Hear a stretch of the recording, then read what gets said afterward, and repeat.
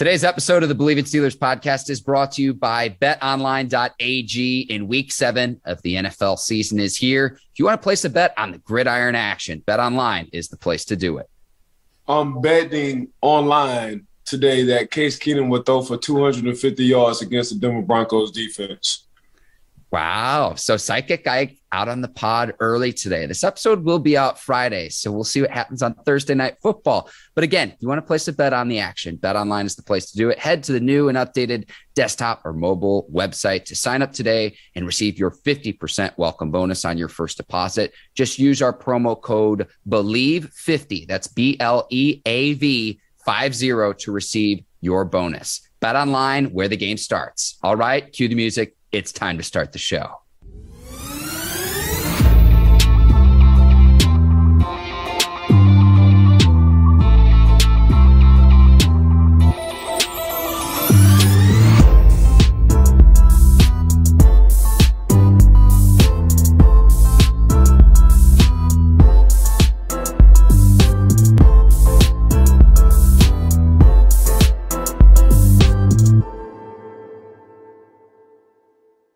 Welcome to another edition of the Bleav in Steelers podcast on the Bleav Podcast Network. I'm your host, Mark Bergin, joined as always by my guy, two time Super Bowl champion and 12 year veteran of the Pittsburgh Steelers, Ike Taylor.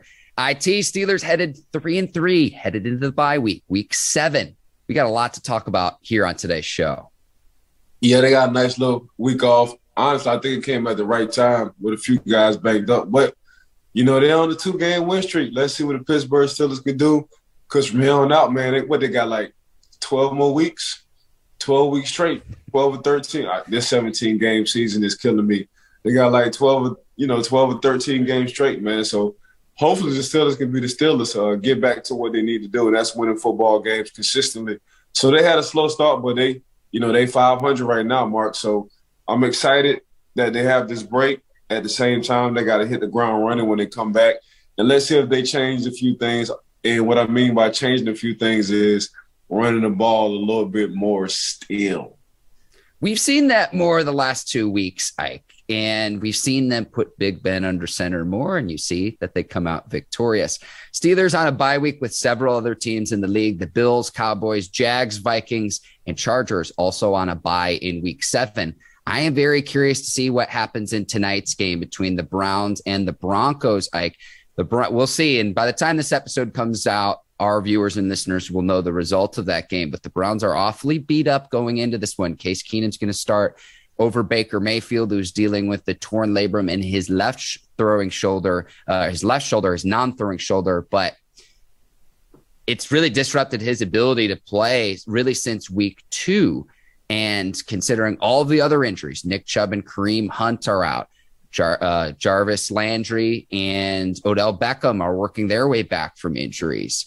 The rookie Jeremiah Owusu Koramoah's got an injury. Steelers might be finding the Browns at the right time in week eight, a Halloween matchup between the two AFC North teams. Yeah, the Browns are down bad right now, but they still have talent. You know, let's see what that defense do for the Browns because, you know, just looking at their roster, you like, man, they got some they got some good pedigrees over there. They got some dogs over there, but they haven't been playing like that. Mark, so time to tell. But mm-hmm. Case Keenum, I've been, I've been a fan of Case Keenum. Um, I always thought he was a trailer, and we talk about these trucks and trailers. But I thought he, he just he's just a natural leader, you know. So when their weapons do come back, they still gonna have something to reckon with. I think the reason why he's going to go for 250, 250 yards passing is because he don't have you know Kareem Hunt and Nick Chubb's sitting in that backfield. So I think the coaching staff will ask him to do more. But yeah, I'm digging. I'm digging Case Keenum right now. Yeah, we're projecting this into the future, I, but I can't wait till the internet lights on fire when Case Keenum finds OBJ for a deep touchdown and they have uh, a rapport that Baker Mayfield doesn't have. The storylines write themselves in this league. Let's be honest here. Yeah, you already know he fired OBJ. OBJ take a 50 yarder to the crib, but he fired OBJ for two touchdowns in one game. You know, go crazy over that thing.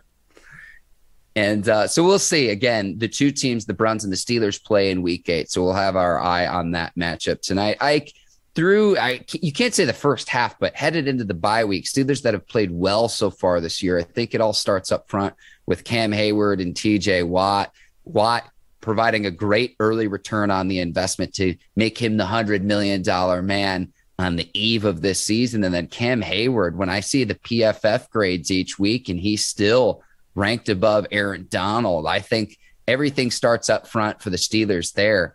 I'd expect them to continue to play well, but to play at this high of a level throughout the course of the season. If they do, you're talking about not just Pro Bowl, but all pro nominations for both players. I think they've been playing that well thus far through six games this year. Yeah, you know, Cam at one point in time, he didn't make the Pro Bowl, but he went all pro. And I think we talked about that on our show. So I'm sure Cam would take all pro any day of the week looking on that resume. Uh, TJ is just TJ. And it's, it's not easy saying that about a lot of people. You know, TJ, if you can just say, oh, that's just him. If you can say he's just Mr. Clutch, if you can say he's Mr. Turnover Machine, if you can say, man, he's just whenever you need to play, that's him. That's TJ.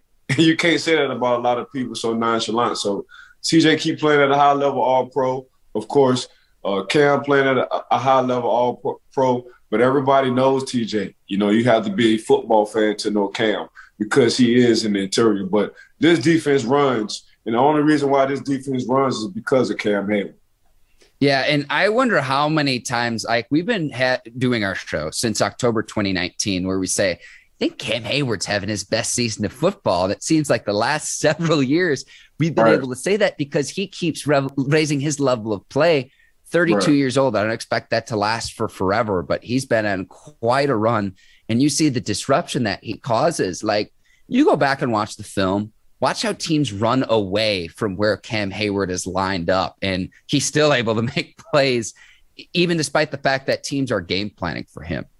Nah, see, for Cam, it's not going to be the age factor. And the reason why it's not going to be the age factor, he's never been very athletic. He's never been very fast. But this is what he has been. He's been a guy who hustles to the ball. He'll run 40, 50 yards down the field off of a screen. He's been a guy who's a technician. So hand placement and understanding what he needs to be. He's been a guy for the Pittsburgh Steelers since he's walked on the field, always had a high grade with your offense on the defensive side. So when you have a guy like that, it's like having a Tom Brady. We all we all knew Tom Brady wasn't fast. We knew Tom Brady wasn't athletic, but Tom Brady in that pocket is a magician, you know, and that's Cam Heyward on that defense. Cam Heyward is a magician. He just know how to use his hand placement. He know where he needs to be at all times. He's going to be where he needs to be at all times on the field. So that's why I think he can play to whenever he wants to play when it comes down to that position. But only a few guys get to play like that or do play like that. And one of those guys is Cam Heyward. Like you tell me all the time, listen to what the players say. And it was just a few weeks ago on Sunday Night Football when Chris Collinsworth endorsed Heyward and said, This guy's a Hall of Famer. Tells me everything I need to know. I'll let your boy. Holla at your boy. That's that's that's Cam, bro. Like Cam. Cam came in as a rookie and he, he, he had a he had a rocky he had a rocky he had a rocky start. He really did. He had a rocky start. It didn't look good at first till we got in his ass.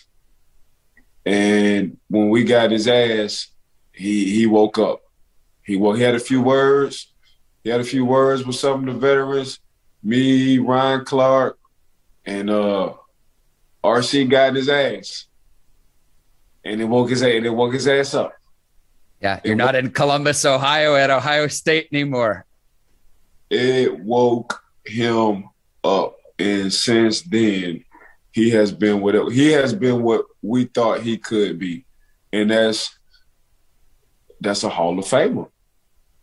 I mean, if the man continue doing what he's doing, you know, it depends on who's gonna go in there with him, you know, between the ballots or whatever. But the dude just the dude, he's Mr. Professional. He's everything you want your kid to be, on and off the field you know. So shout out to Cam, man, Cam Heyward, man. We, won't talk about him enough. We talk about TJ, we talk about Minkah. We won't talk about Cam too much, but we're giving him his props right now.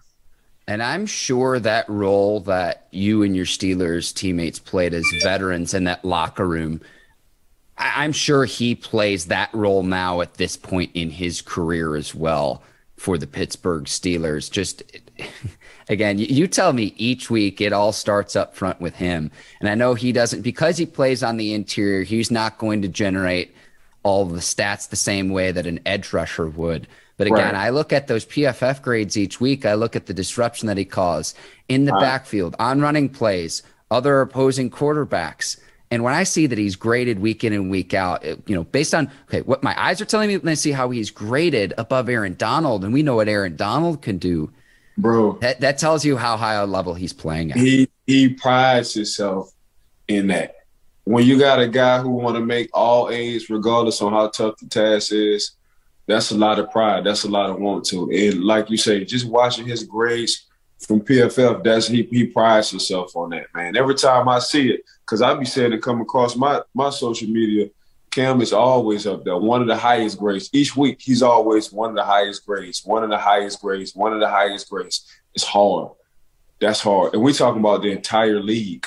He be having one of the highest grades over the entire league. So he's just Mr. Consistent, man. He Mr. Consistent. But you know, Cam don't have to say too much. His work speak for himself. And his best, his best work, his best tool is being available. That's his best tool because the man is always available. I don't know if we can get the stats on how many games Cam have missed throughout his career, but I guarantee you we can count them on one hand. I'm going to get the Bleav in Steelers research department right on this. Ike TJ Watt winning AFC Defensive Player of the Week as well he's one of the many players that helps reap the benefits of what Cam Heyward can do up front as well. And just pulling up Cam Heyward's, uh, he he has played. I'm, I've, i pulled this up on Pro Football Reference. He's played in all 16 games dating back to the 2017 season, where he played 15 games. 2016 games he played in seven but he's pretty much played in 16 games throughout the course of his career, other than that 2016 season. So, Ike, you didn't even know the numbers off the top of your head, but it's like you're exactly right. You're spot on. So, what did he miss? One or two games? He missed, let's see, live math here. it, it's uh, you can count it on two hands because again, in the 2016 season, they played in seven games. So nine games missed there, and then missed one game in the 2017 season. So eight games total over, you know, he's been in the league since 2011. So you do the math there, you can count it. It's it's it's less than 10 games during his career. That's for a defensive lineman, that's incredible. Boy, that's that's a hell of that's a hell of a stat. That's a hell of a stat.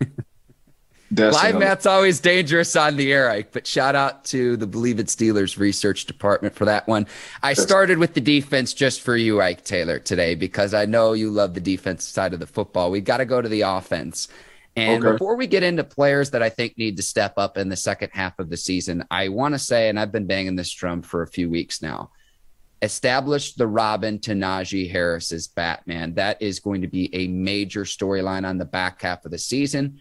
We're into October, almost into November now, Ike. And you tell me how it gets colder out, especially in Pittsburgh, and the importance of running the football becomes more and more important. Yes, establish Najee. Yes, make him the bell cow as your first round draft pick, but make sure that he can stay fresh in the games that you really need him. Whether it's Anthony McFarland coming back from a knee injury, whether it's Ballage stepping up, whether Benny Snell finally can prove and make the most of his opportunity. You know, whoever the third running back is, is probably going to play a special teams role, or if they want to mix in two other guys. But I want to see someone other than Harris step up and carry some of the load for the Steelers in the back half of the season. Hey, but Ballage, Ballage didn't do bad when he stepped in. Mm-hmm. But when Ballage came in, he he he's a north south kind of runner. He he trying to get four and five yards every time, and as an offensive coordinator, and he was running with attitude he was running like somebody didn't hit his sister or somebody. So that that that man was running. And I, my personal opinion, I thought it made Najee kind of run harder when he got back in the game. So mm. you, you you you get and he's a big guy. So when I saw that, I said, "Oh, this this dude got a lot of attitude when he get the ball in his hand, and he's looking for contact." So this November, December, January football come around, you got a dude who's big and he's looking for a lot of contact. Man, by the time that third quarter come, man, you know them safeties in them corners, they're gonna be making executive decisions like, okay, do I stay on this block? Do I let this receiver block me all the way down the field? Do I fake try to share the block? Or do I let this guy run past me and try to chase him? Them the three decisions them DBs make when it gets cold in November, December, January football, Mark. Executive decisions. Now, does some of that depend on uh, what's my contract situation look like? Like, what's the cost benefit analysis running through a DB's brain when he needs to make that executive decision, Mike? I don't know because I wasn't one of those guys who made those decisions, but I, I, I've seen it plenty of times sitting on that sideline and watching guys try to hit a Deuce Staley, a Jerome Bettis, a, a, a, a Will, a Willie, a Will Parker. Like I done seen, I done Najeh Davenport. I, I done seen this plenty of times. The big backs we done had, and guys made the decisions like, Nah, Jack, not today, not today. So you had to be a LeSean McCoy for some of them guys to make that decision. But the, the running backs that we had, them DBs used to make them executive decisions all the time. Interesting. Interesting. We'll go back and watch some film, Mike, and you could point this out to me. I love right. it. 100. I love it. We can we can call it making executive decisions. That's that's gonna be the head. this might be a new segment as part of our Taylor talk when we break down the film analysis from the game, Mike. And I know that that's been very popular with our viewers as well. And it's really fun doing that with you each Monday to go over a key play from the game through your eyes, through what you see. Uh, on the offensive side of the ball, two players I'd like to see step up in the second half James Washington, Eric Ebron, both players in contract seasons. And both players have a great opportunity to step up with Juju Smith Schuster out for the rest of the season with the shoulder injury. So, Washington, I would just like to see him get the opportunity because Correct. he Correct. only played eight snaps in last week's game. And Mike Tomlin was asked about it uh, by reporters. Right. And he says, no, you know, we kind of like the matchup of putting Ray Ray McCloud out there, who's been in more of a special teams role. Ray Ray McCloud had 52 offensive snaps. James Washington only had eight. I would like to see that changed because if you're going to keep Ray Ray McCloud in a return role, keep him fresh and let him let him focus a little bit more on the special teams. Bless you, Ike Taylor. Thank you. No, I'm going with James Washington, man. I, well, I think. Excuse me. My bad. This is a live broadcast. Uh, uh, bless you again. I was waiting for the second sneeze. Yeah, I, I think Pittsburgh getting too cute now, bro. They they they they stick to what had you winning ball games, and when you was winning ball games, James Washington, all you have to do is ask Ben, was coming up clutch. right? Got a triple so far. Bless you again. Right. Thank you. Appreciate you. But yeah, let's let's let's not go to McCloud. Let's keep McCloud right now. You know, sitting sitting back there catching punch, trying to make plays. But your answer to, to Juju being out is James Washington.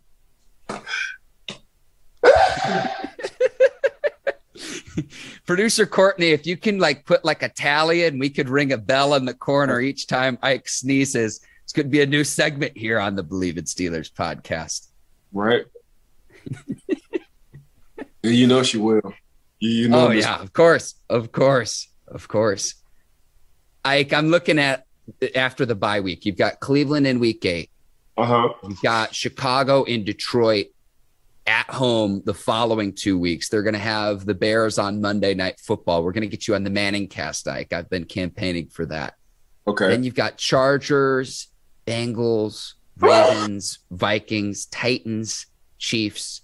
Then you finish out Browns and Ravens. I tell you what, a banged up Browns team in week eight. We'll see who ends up playing in that game because there's a lot of time between now and then. Browns are very beat up right now.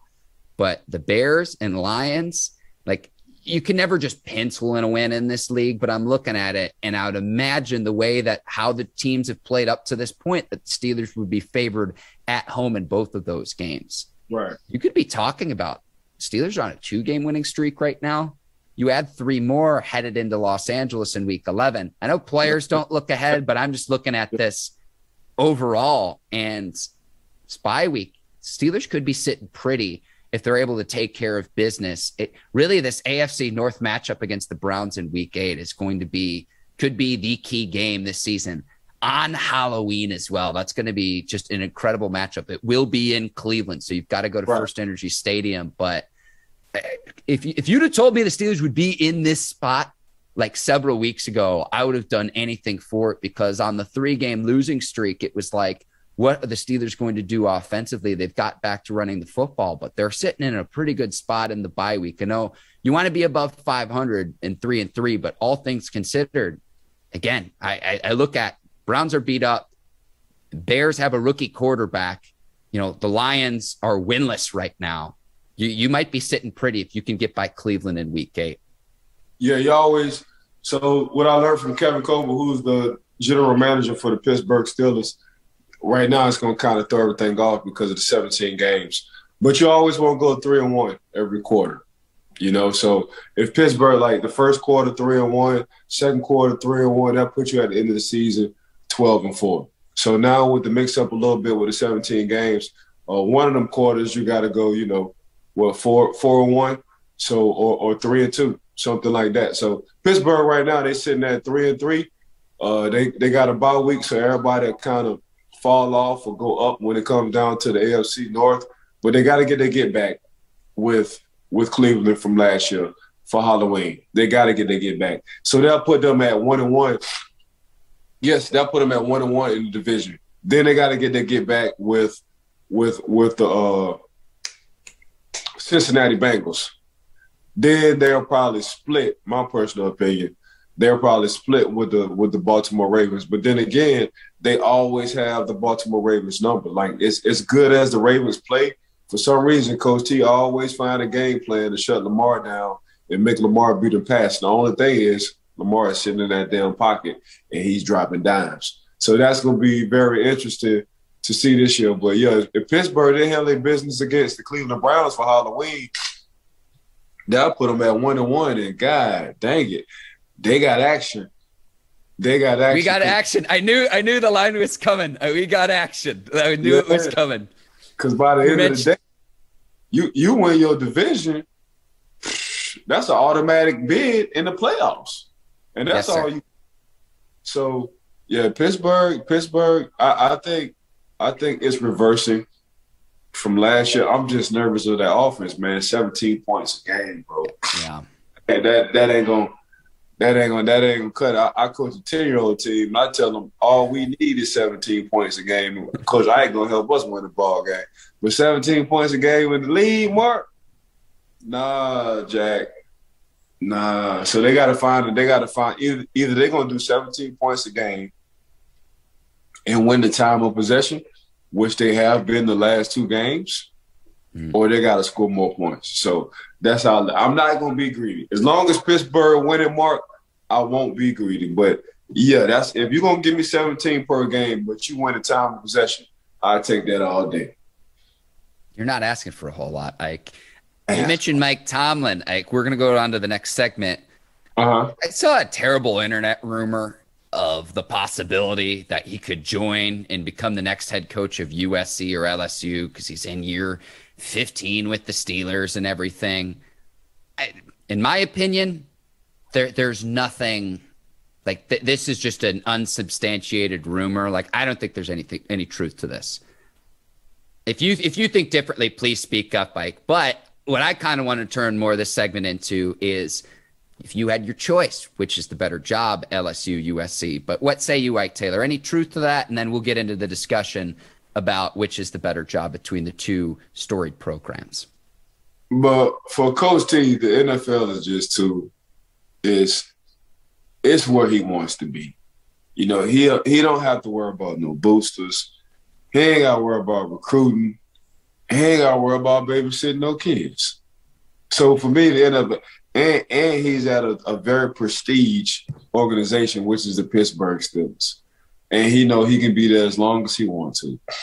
Now, on the flip side, if he wants to change the scenery, if he wants to change the scenery, if he wants some boudin, some crawfish, some esche, some some good New Orleans talk, some athletes around the area that you have a strong possibility in, in, in going to these national championship games, that's LSU.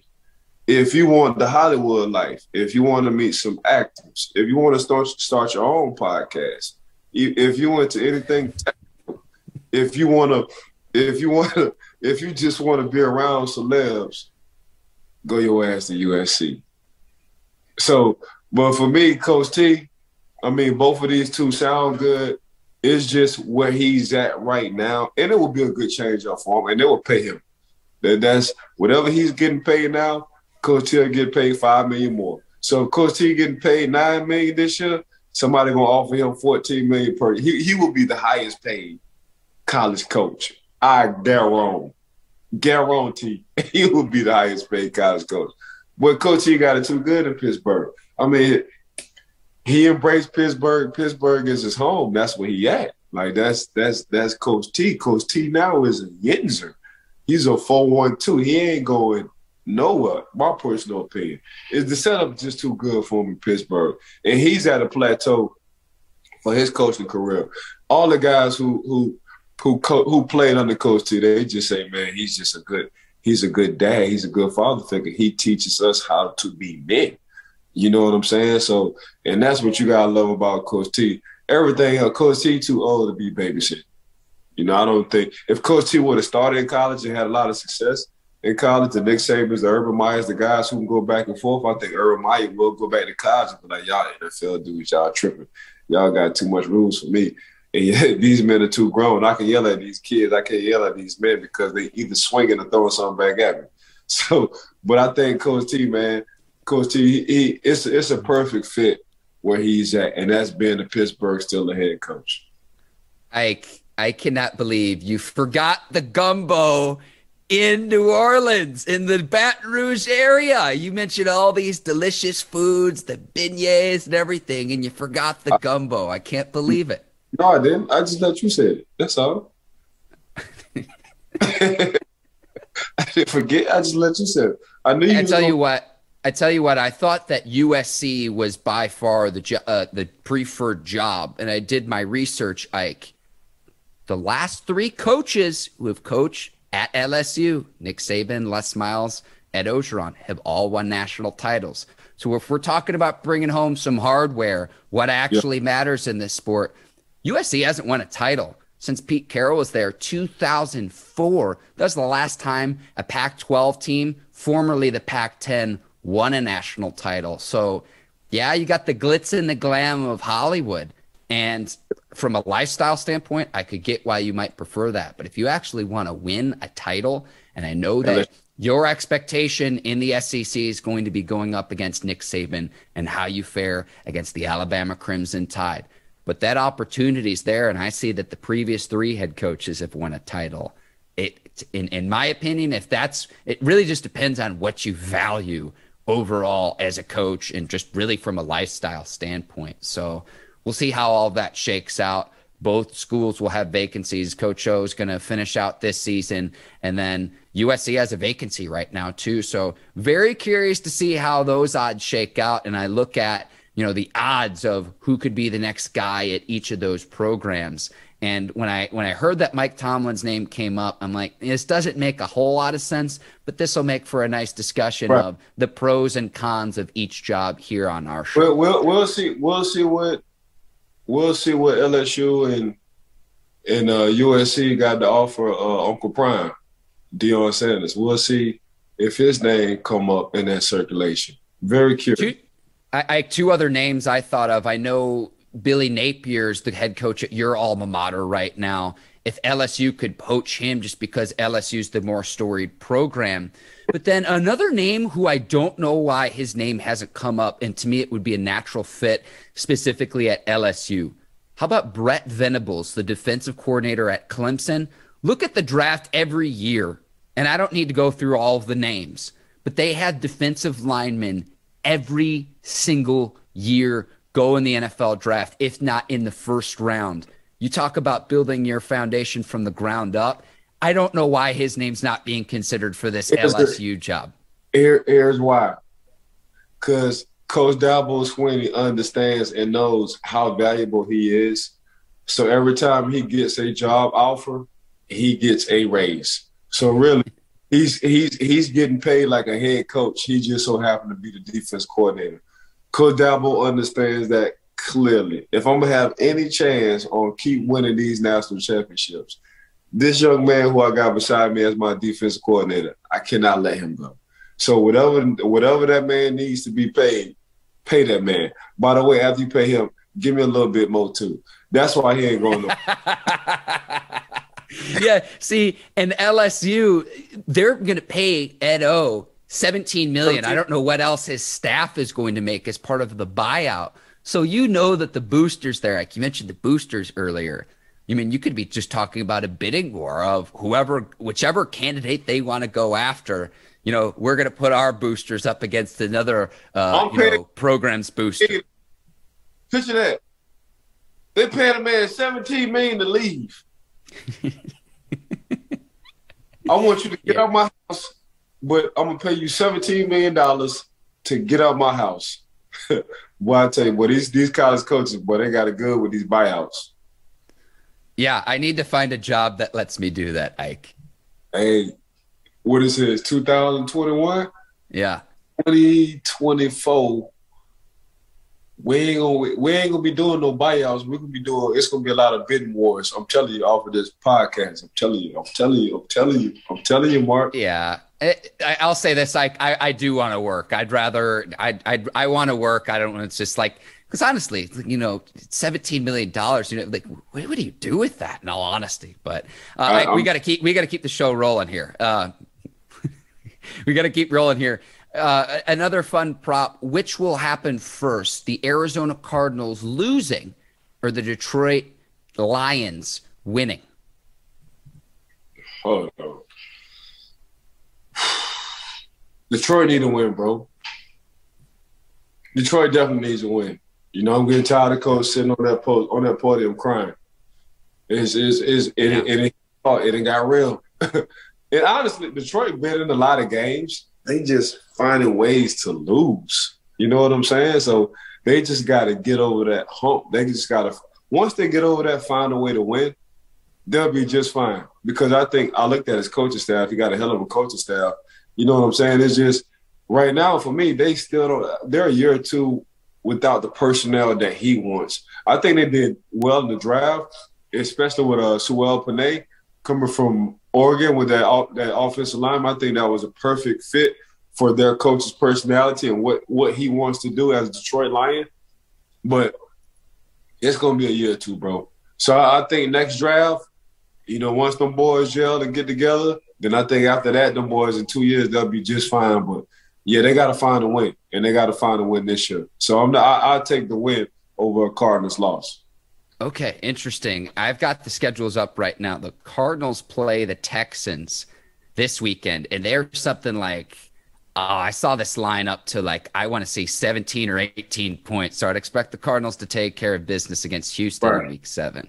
Week eight, the Cardinals have the Packers, which will be maybe a preview of the NFC championship game. Maybe. I mean, two really, really good teams in the okay. NFC in week eight. Right. The Lions schedule, they've got the Rams this weekend. We know how stout the Rams have been this season. Then they've got the Eagles in week eight. So that's, you know, I think that Eagles matchup would be winnable. The Lions yeah. then have a bye week in week nine, and then they play our Steelers in week 10. So we'll see how all that shakes out. I think the Eagles would be like the next winnable game for the Lions. But again, I look at the Cardinal schedule. I'd, I'd fully expect them to take care of business Houston uh, and uh, DeAndre Hopkins going against his former team as well. Yeah. Yeah, I think, yeah, yeah. DeAndre, 100%. Kyle, Kyler Murray is just, you talking about league MVP right now in discussions, you know? Oh, That's yeah. About okay. Kyler. Um, and you want to talk about somebody revamping what they was uh, as a Pro Bowl running back, James Conner. You know, obviously he's become Mr. Red Zone, Mr. Touchdown. You know what I'm saying? So, and DeAndre, it's crazy. I think they showed a stat. DeAndre had over 20 quarterbacks in the course of his career, and all he been doing is being all pro and Pro Bowls. The stat, the stat is just crazy on what this man does week in and week out, regardless of who's throwing him the ball. Then you got AJ. So you got AJ Green on one side. You know, at least he's a threat. You wind up checking him one on one. He's gonna make his play. So they, they got then you just you just got Ertz coming from the trade with the Philadelphia Eagles. Like Yeah, got, yeah, the tight end, the tight end. Yep. They they got a they got a nice look. They got something going on over there, man. I, I think people aren't respecting what they got going on because they just think Arizona Cardinals and oh, they just okay. But last time somebody thought about Arizona Cardinals, they almost whooped the Pittsburgh Steelers. You know what in the Super Bowl. So oh, I'm not on Arizona. Something you know a little bit about, Ike. Yeah, it's it's it's it's real. When a team is good, you gotta you gotta trust and believe your eyes. You know, stop looking in the past on what they was like. Arizona Cardinals is the for real deal, man. They really are good. They really they really are good. It starts with that young man, Kyler Murray. See, I, I'm going to take the Cardinals to lose before the Lions win just because that week eight matchup against the Packers is also a Thursday night football game. So, okay. heck of a matchup there. Shortened week to prepare for that game as well. And you've got to go into Lambeau Field, which we know the home field advantage that that could play. So, for that prop bet, and it is favored, you've got a little bit better odds. I'm going to pick the Cardinals to lose before the Lions win. I we'll go to our next prop bet too. Uh, first coach to be fired, and looking at the odds yesterday, Bears head coach Matt Nagy was the favorite. I definitely think he's on the hot seat, but the Bears as a franchise typically don't fire their coach mid-season. Uh, Urban Meyer, Joe Judge, Brian Flores in there. I know the Dolphins have been down coming off of a bad loss internationally to the Jaguars.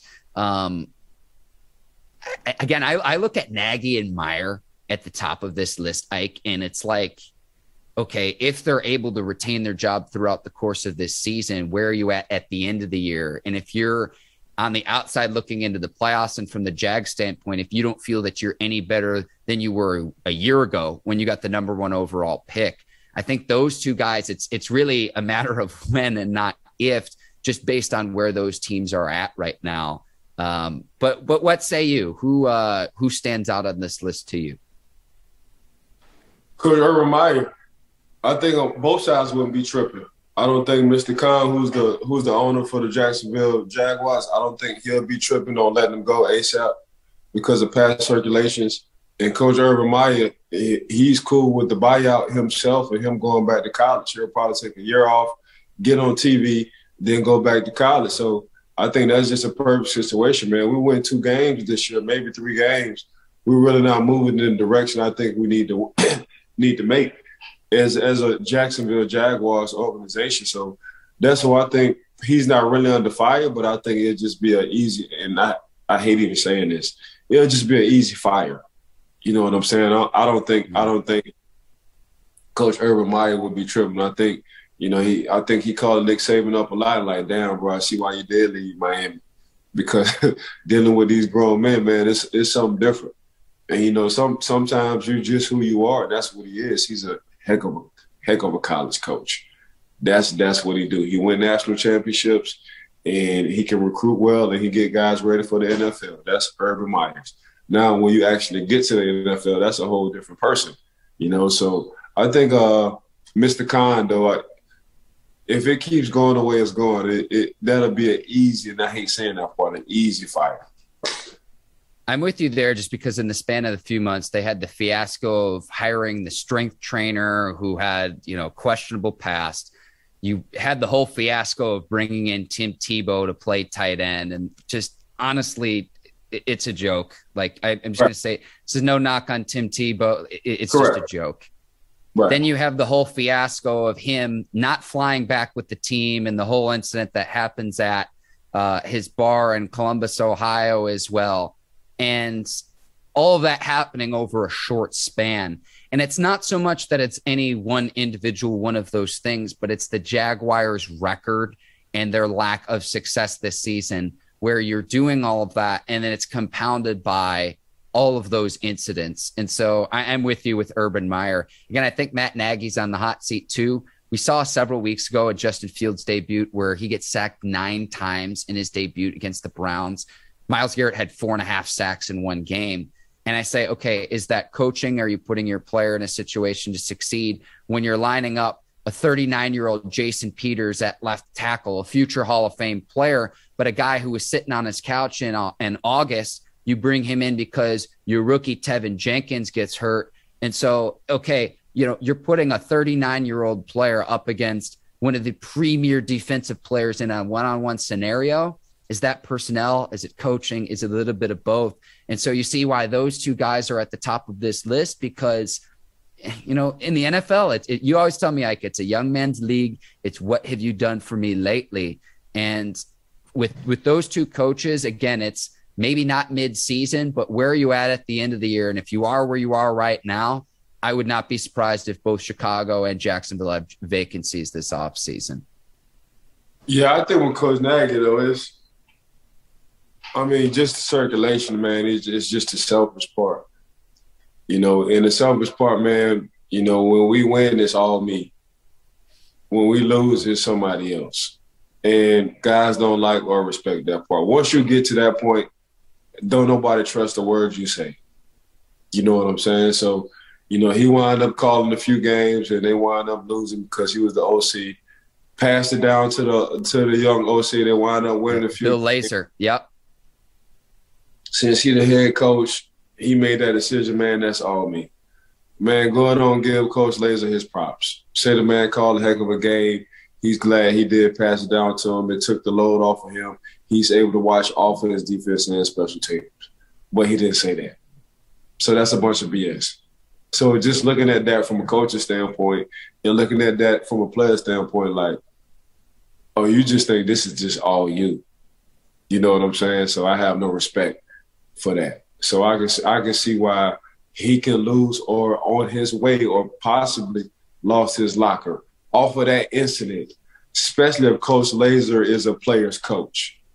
You know what I'm saying? So it's a difference. The the story is telling itself you the OC, we lost. I want I wanted the players wanted to play for you. You put in Bill Lazor, we wound up winning. I wonder if they want to play for him more. this ain't this ain't hard at all. This ain't hard at all. So you know what, man? Go ahead and get some humble pie. Sit your butt at home because you had opportunity. You thought it was all all about you at one point in time, and you didn't give props to somebody who's who's been putting our team in a good situation. Who's your OC in Lazor? So think about that. See if you can change your ways. If you don't want to change your ways, you won't ever coach, be a head coach in the NFL again. So you really tell them who you really are when, when stuff like that happens. So that's all I gotta say about that. Yeah, really- and I would I would think a head coach would want to give credit to his step, like being in a position of power. If you're able to delegate, I think that says more about you and being able to provide credit to others and then put them in positions to succeed than to say me, me, me, me, me. Like you told me early on when we started doing this podcast, the way that you and your Steelers teammates roll, it's not what about what I'm doing, what are we doing collectively? That's exactly what you're talking about right there. That's coming from a player who played 12 years in the league as well. Just look at let's just look at Coach Nick Saban. Coach Nick Saban, man, everybody leave. Every time somebody comes, somebody leave and get a head coaching job or get an offensive coordinator job. Or every time somebody gets fired, they go back down to Coach Nick Saban, wind up winning the championship, then get a then get a job after that. Coach Nick, Coach Nick figured it out. The man figured he, he know exactly what he's doing. The more guys I can have under me to improve their resume, we win in national championships. They leave, and then I can build somebody else up. But that's why I'm here. I'm staying in Alabama forever. That's exactly what I'm gonna do. That's exactly what I'm gonna do. Hopefully, I'm at Alabama to a point where I got some of my players who didn't make it to the league. They can coach with me, and I can get them head coaching jobs. That's how Coach Saban is thinking. Yes, sir. Yes, sir. Ike, a few more segments we need to get to as we start to wrap up here on the show. You think Cam Newton's coming back at any point in the 2021 season? I did see that he's vaccinated now, but it, any any fit? Yeah, baby. Got that vaccination. Yeah, he had to get that vaccination, baby. That left arm. it definitely played a factor. Like, let's not kid ourselves. But do you think he comes back for any team this year? Yeah. Yeah, he, he should. He should. He should. I'm trying to. I'm, I'm trying to ponder and see what team. Uh, uh, this is a live look into the mind of Psychic Ike. So Houston, should be one. Okay. If they don't do this three way trade with Deshaun Watson, Miami should be two. And right now, Baker, nope, nope. No. no. Houston and Miami. No state tax. Florida and Texas right there. Ike, you'd get plus 150 odds, minus 200. So he is favored not to return this year. I'm not sure this is the end or not for Cam Newton. I can't imagine he'd want to sit on the sidelines and hold a clipboard. We will see how that shakes out. Few weeks, said, seven. Ma- go ahead. Hey, go ahead, Ike. Mark, he said he didn't mind holding the clipboard. Yeah, it, come on. It, what what you say? Listen, who you are is what you do, not necessarily what you say that you do there. So I, I, I can understand him playing good soldier, he, but he wants the opportunity to get back on the field, and, and he should. He's former MVP. Listen, yeah, 17 years ago, he he would rather he would rather hold a clipboard than to be sitting at home right now with his dogs and his kids still at a young age, thinking he got a little bit of juice left in his tank. I'm telling you that that lifestyle is a little bit different. You know what? I've been at home for four or five weeks. I'd rather hold this damn clipboard and get back to my football routine than daddy, daddy, daddy, daddy, daddy, daddy, daddy. right now, my mind ain't ready for this. my mind ain't ready for this. So yeah, I think he would. I think he wouldn't mind holding clipboard, Mark. I'm just saying. All right, all right. Week seven matchups: like Chiefs at Titans at Nissan Stadium in Nashville. Your boy will be there. I'm going to this game in Nashville, Tennessee this yeah. weekend. Yes, cannot wait. And I tell you what, Titans come on off a big, big victory when it's everyone counts them out, but we see what King Henry can do. And if he gets another 2,000 yard season, Ike, we got to start having a conversation about Derrick Henry of you know where he ranks among the best running backs of all time. He's been incredible for this Titans team this year. I cannot wait to see this matchup and the Chiefs able to right the ship in week six, but they're kind of stumbling right now. Who you got in this matchup between the two AFC teams? King Henry. King Henry gonna run all the way down the boys though. Cause right now, man, they don't want to tackle nobody, and they're gonna play cover two.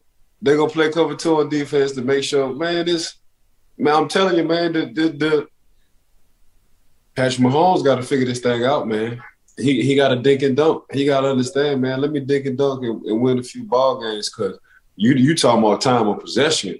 Tennessee definitely gonna try to win that time of possession by giving that boy King Henry the ball for real.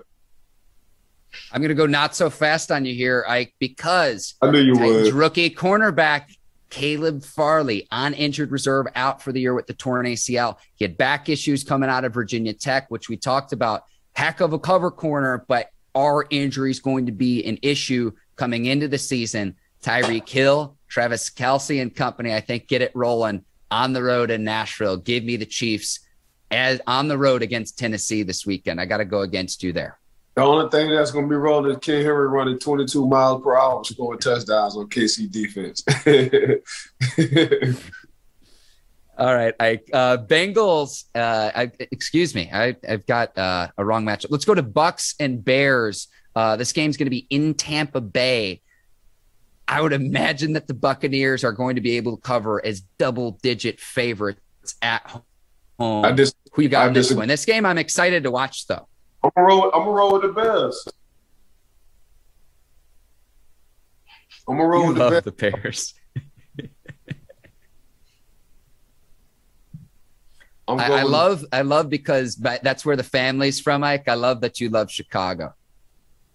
No, first of all, Chicago is a hell of a city. I love Chicago. Oh, beautiful. Oh, yeah. it's, it's just cold. It's it's only summertime, one week out of the year. That's the only thing I just like about Chicago. I go to Chicago for one week. After that one week, everything get back cold. I'm like, holy moly. But other than that, as far as like the city being beautiful, the food and all that good stuff, man, you gotta love Chicago. But I got the Bears. I got Justin Fields. I think this is a good matchup for the defensive line because they have a quarterback who who really can't move as much, and that's Tom Brady. Um, they always give Tom Brady hell when it comes down to these matchups. So yeah, I'm gonna take Chicago Bears, bro.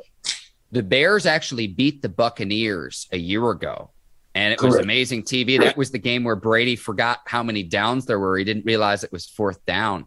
So talk about a relentless pass rush if Robert Quinn plays, he's on the COVID list right now. Whether he plays, I think, could be a big factor in this one. He's been the Robin to Khalil Mack's Batman, and right. he's had a nice redemption season in Chicago this year. Keeping an eye on that headed into this one. Two other matchups we need to get to, Ike. AFC North matchup Bengals at Ravens, Ravens at home, six and a half point favorites. Baltimore's been playing excellent football with Lamar right now.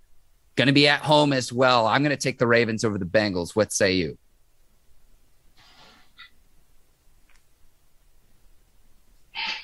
I'm gonna go with Joe Burrow, man.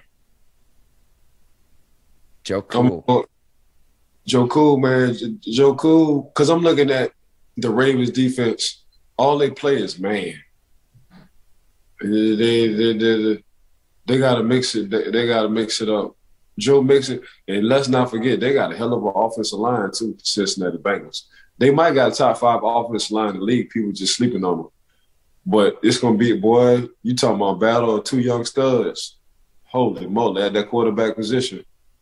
Holy moly. Yeah, I'm taking the Bengals, bro. I'm rocking with the I'm, I'm rocking with Joe Cool and company, man. Me and Joe Cool, me and Joe Cool in the offseason, man. I'm gonna make sure Joe Cool I get a I get a one of a kind cigar in your Cool hand. That's what I'm gonna do, man. There you go, Ike. There you go, Ike. I know that that there's that video clip of him smoking a cigar after the national championship in 2019. That was epic. Oh yeah.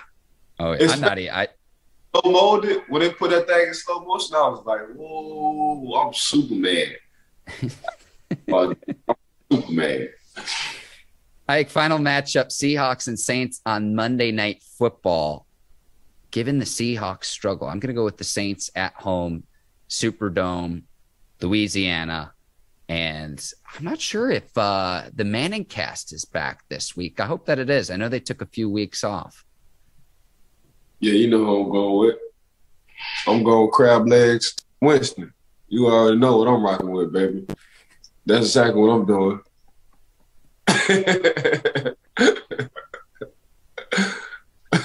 I've never I've never heard that nickname for Jameis before. Yeah, so there you go. We just gave one. All righty.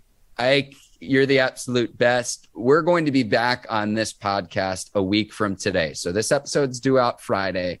Because of the Steelers bye, we're going to have a full preview of the week eight matchup against the Browns. We'll be back one week from today. So only one episode next week. I want to give you a shout out, Ike. You're my dog.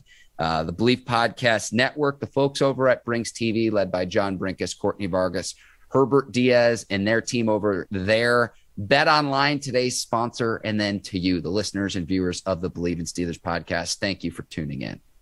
Man, I'm gonna piggyback off all what Mark just said. Mark, I gotta give you a massive shout out. Break TV, Miss Courtney and our crew, massive shout out. Bet Online, massive shout out. Bleav in Steelers podcast for giving us an opportunity. Big, massive shout out. Want to give a shout out to all the viewers and listeners. Make sure y'all rate and review us with the five piece. Please, spicy. for Ike Taylor, I'm Mark Bergin. Thank you for listening to the Bleav in Steelers podcast. We will see you next week. Take care and so long, everyone. Peace.